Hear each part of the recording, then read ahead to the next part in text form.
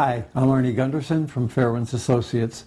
It's Thursday, March 31st, and you'll probably notice that this is the second update of a day.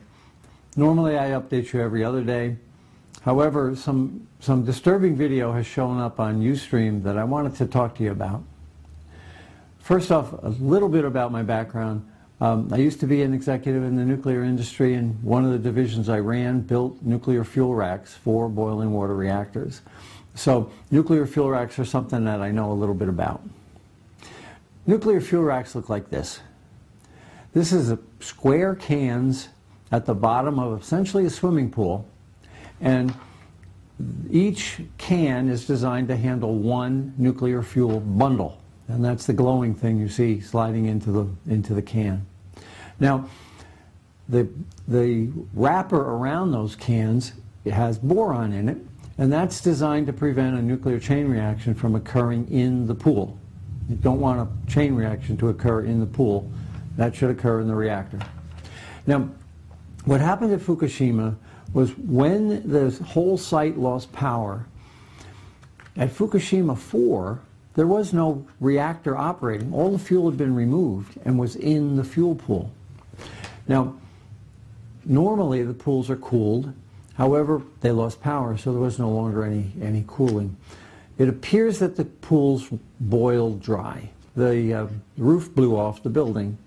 That indicates that hydrogen was built up from uh, something called the Zircaloy water reaction that had to occur at temperatures over 2200 degrees.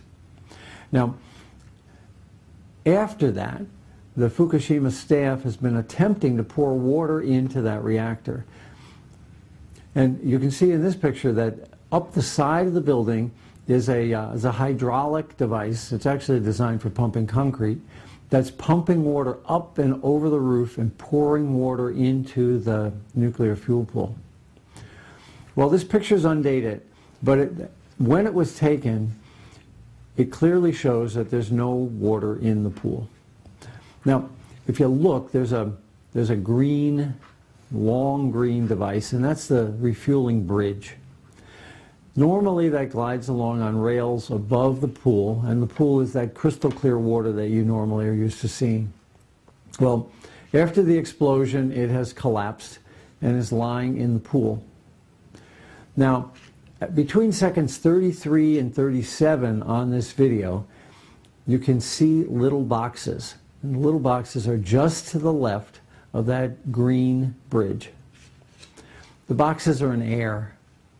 Those boxes are the top of nuclear fuel racks. They're supposed to be under 30 feet of water. They're not. Now, what that means to me is a couple things.